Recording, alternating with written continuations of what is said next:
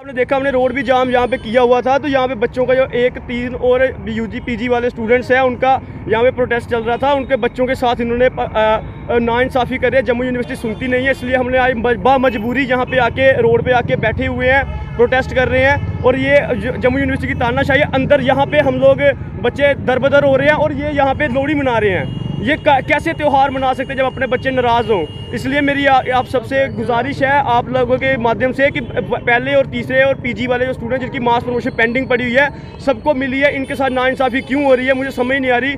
इसलिए मेरी आपसे गुजारिश है कि इसको जल्दी से जल्दी पूरा इनको मास प्रमोशन दी जाए नहीं तो आने वाले दिनों में कड़े प्रदर्शन किए जाएँगे।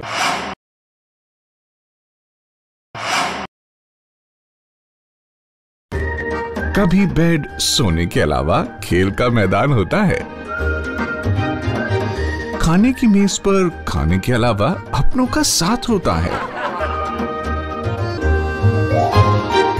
रिश्तों की मिठास का एहसास के एस फर्नीचर के साथ।